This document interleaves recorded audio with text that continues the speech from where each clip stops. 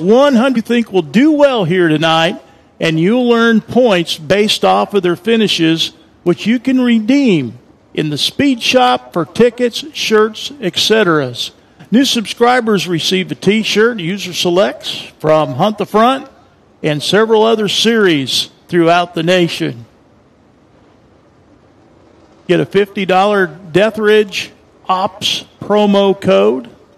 Can use for Ray-Ban, Oakley, and other brand of eyewear. So that's all from Dirt Draft.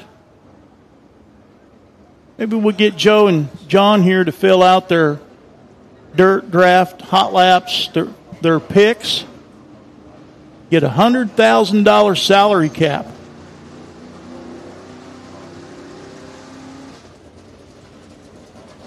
All right, cars coming out. Group one for Dirt Draft Hot Laps.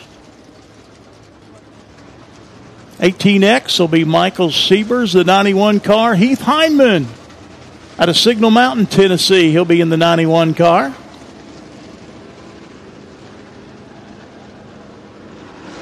Car number 19M will be Spencer Hughes out of Meridian, Mississippi. A new ride for Spencer. Number 25 car will be Chase Walls out of Shelbyville, Tennessee. Driving the 16 car.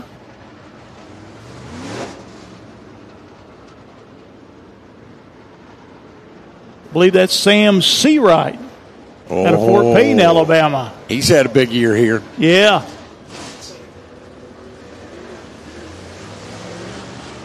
Car 53, the Tar Heel Tiger, former Gobbler winner, Ray Cook, out of Brasstown, North Carolina, in that familiar blue, orange, and white number 53.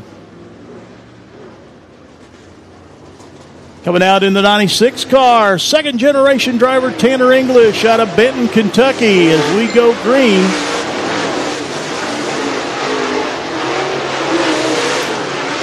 Forty-six car out on the speedway. Chris Jones out of Alabaster, Alabama. Times beginning to go up on the board. Of course, these are unofficial until we go into our qualifications. That's when the times will be official. They're going up on the Dirt Draft Hot Lap scoreboard to the upper left of your picture if you're watching on Hunt the Front TV. Wow. Tanner English. Tanner English at 12.568. Wow. Chris Jones And going to the top of the list on his final lap will be Spencer Hughes out of Meridian, Mississippi at 12.551, just to give you a taste of what qualifying will be like this afternoon. Wow. So that group will go back to the pit area. We split them in half, 14 cars scheduled to come out. 33 machine to Justin Taylor out of College Grove, Tennessee. Rolls out on the speedway.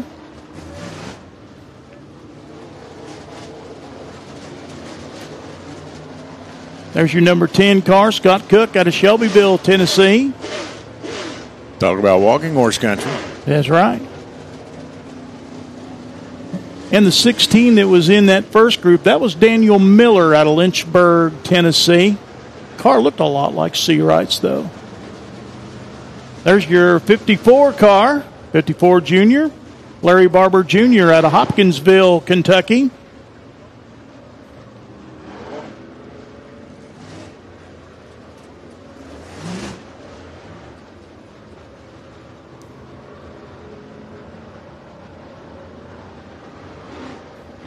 Seventeen R, Brad Skinner out of Spring Hill, Tennessee out on the speedway. Green flag coming out. There's the P1, Andy Picklesheimer out of Ooltewah, Tennessee.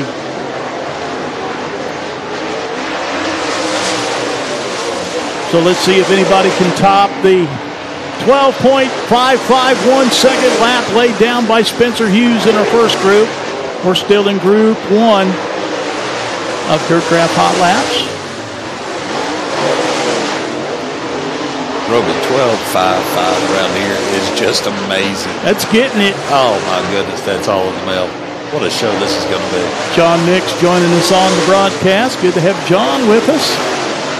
Well, it's good to have you guys here, man. We, uh, we love having the Hunt Front Series here at the Duck. And we're in for another great afternoon of racing for sure. And checkered flag out on the second group of Group 1. That sounds confusing. Second flight, I guess we should say. There you go. Of Group 1. Spencer Hughes still at the top, that 12 5 5 1. Four cars now have broken that 13 second mark. Can you imagine what it would be if it was the sun wasn't out? Yeah, okay. Oh my goodness. oh, be in orbit. I'm telling you. What a great track that Russell Booth has prepared here, too. It, they always have a great surface for these guys to run on. Coming out next, the 302 car for Robert Stutz out of Murfreesboro, Tennessee. They used to call him Stutz Bearcat. Yeah, the Stutz family. The Stutz Bearcat. They've been racing around here for a long, long time. Good to see him back out here. H22 will be Brandon Hargrove out of Burnside, Kentucky. He'll be out in the first flight of Group 2. The M2 machine out on the speedway.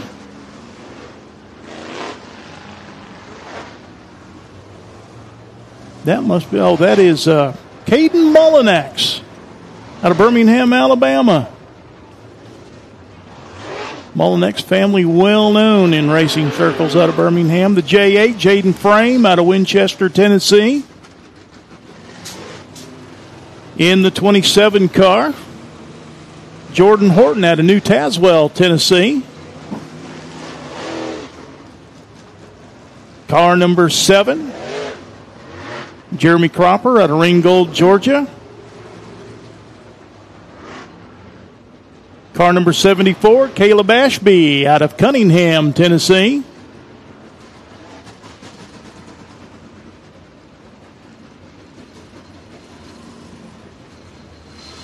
One stop down there on the front stretch. Yeah, we oh, got the six car down here.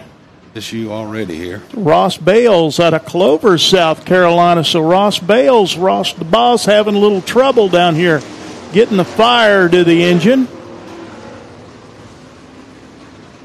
He gets pushed away.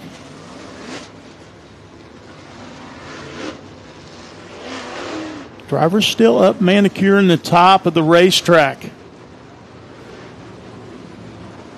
Yeah, still working this track in, getting that cushion worked in up there.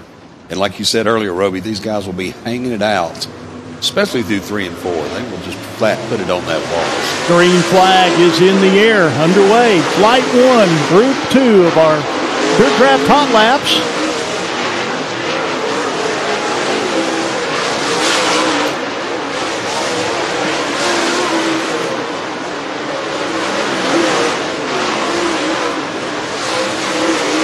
Some drivers work in the middle, some working right up the top, and some are even up in no man's land. I mean, out in the parking lot. Well, hot laps, a good time to see where you're going to run good. So to try a few different lines, see where they can find some speed. Be ready for that qualifying. That'll be an important run. Well, in this group, Ross Bales, he got it fired up all right. He's fourth quick overall, 12.855, fastest in this group. As the checkered flag comes out. So these drivers will head for the pit area. We'll bring out our second flight of Dirt Draft Hot Laps Group 2.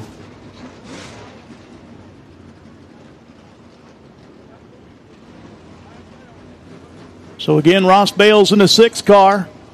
Fastest in that group, 12.855. Fourth quick overall.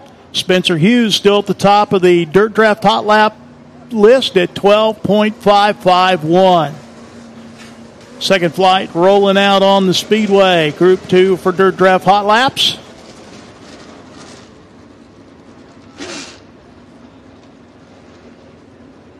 Got a little traffic jam getting back in the pit area.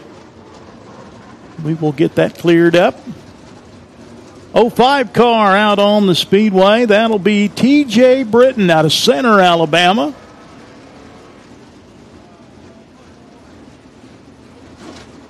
There's Sam Seawright, car number 16, out of Fort Payne, Alabama.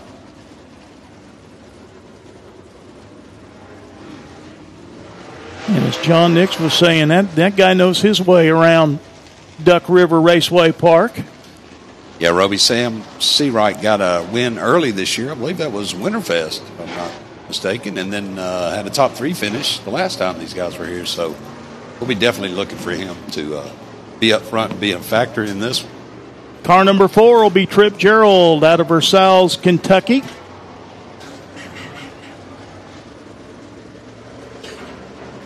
Twenty-nine car Christian Hanger out of Winchester, Tennessee. We saw his dad, Henry Hanger, in the open wheel modifieds.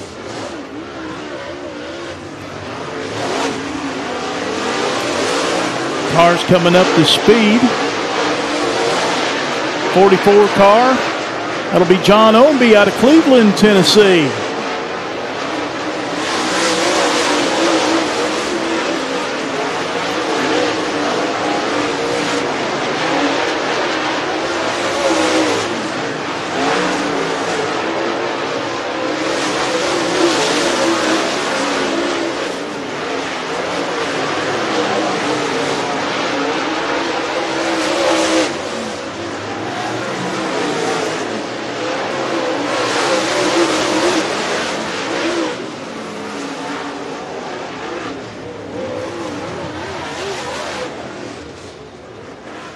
Sam Seawright quickest in that group. Seventh overall at 12.959 seconds. Sam Seawright out of Fort Payne, Alabama. Do you know the the other two things that come that Fort Payne is famous for? The band Alabama. Okay, that's one. Okay. You know the other one? Tell me. It is actually the it is the corporate home of the Heil Equipment Manufacturing Company that makes garbage trucks. Okay. Okay. I thought, well, they've got a Heil plant in Athens, Tennessee that makes the tankers, the Yeah. aluminum tankers. Exactly. Yeah. But the garbage trucks all come out of Fort. So if, if, if you go if you go put your garbage on the street, there's a real possibility that the truck who's picking you up is From was Fort made Payne, in Alabama. Fort Payne, Alabama. Got it. That's the other one of my careers. So I, I was going to mention something about that, but, you know, I, I I really didn't want to bring up your trash. well, you know, Joe is the guy that when you call the trash company that they didn't pick up your trash, it would be Joe on the other end. He has heard it all. more times than I care to think about. Actually. oh my! Still uh, change here. We're going with the four bangers now. Oh, these are our pure ponies here at Pure Duck River. ponies. Yeah, they're fun. We got those and the bang bangers here tonight. Let me tell you, we've got a little bit of everything tonight, and uh, it's going to be interesting to see how this track reacts to all the different types. Rope, you look over in three and four, and already you're beginning to see this thing uh, take down some rubber, which is a little unusual. It's a little bit early. I was going to say, you know, but you know, the sun is shining down. I Yeah. mean, it's a cloudless day today, so and the wind is blowing. So that's two things it's got going against it. Paul Teachout in the 222. There's the 17. Making me search now. That's how long it's been. That's Jason James that drives the 17. Teachout's coming out early. Tommy Bond in the 20 has been uh, the, the hot shoe most of the year. Jimmy Dale in the S7 now has the top spot uh, for the moment. There goes Tommy Bond taking care of that. Tommy at a 15.803, about three tenths of a second quicker than Brian Hale in the 16 at the moment. But we don't uh, we don't waste a whole lot of time. John Nix will tell you that.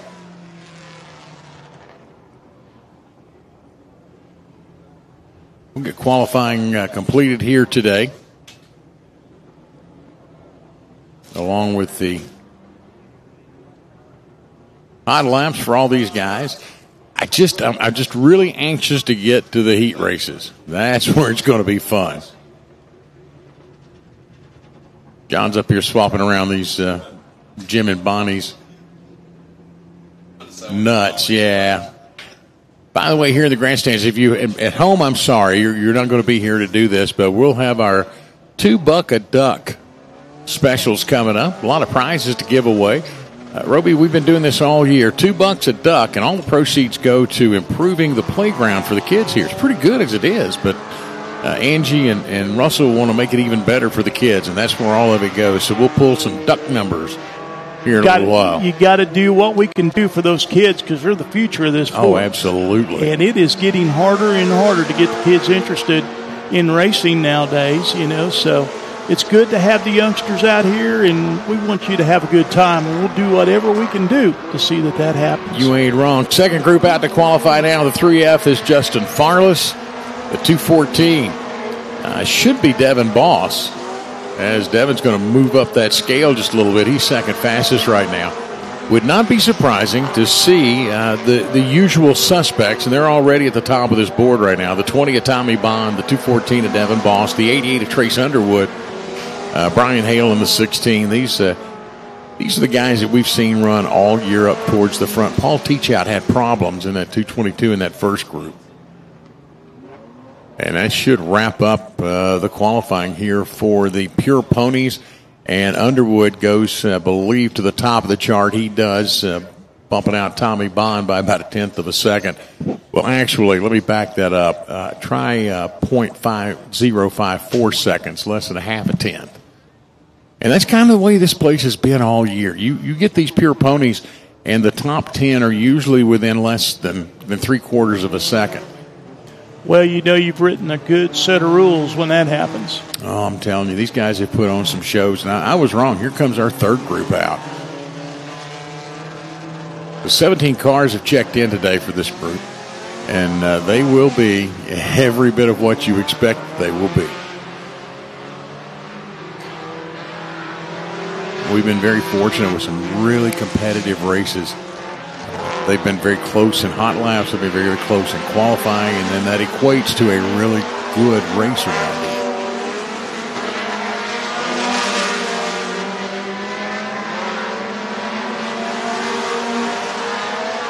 Now, do these cars have that kind of Pinto-like engine based off the Pinto same, engine? Same concept, yeah. Yeah, except uh, If you really want to get in your wallet, you can get an S-Slinger. exactly. Yeah. But most of the, you know, the, there, there's uh, there's even a couple of little Iron Dukes out there. If you remember those. I remember those So, back in my midget racing days. uh huh. Yeah.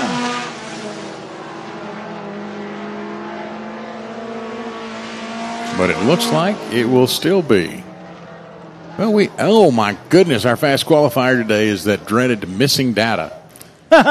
so the missing Hey, data so- from parts unknown. Hey, that family is good. I mean, Everywhere. everywhere. Everywhere they go, missing data is going to show up. I've So- seen missing data senior, missing data junior, and missing data the third all in the same group sometimes.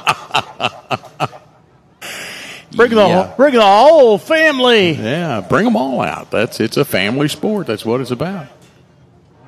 Uh, we're just cutting up here at Duck River Raceway Park. Hello, everybody. I'm Joe Williams. He's Roby Helm. He's the man. I just happen to be sitting in the in the co-pilot's chair at the Come moment. Come on now. Come on now. The voice of Nashville Fairgrounds. Come on now. John Nix, the man behind the, the, the myth and the legend, will be back with us here in a little while. I, I can't get him.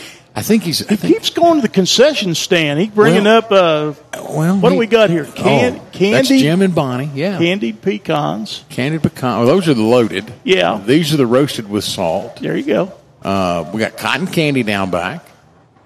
And I'm we get, you waiting know, for him to bring the rib plate up.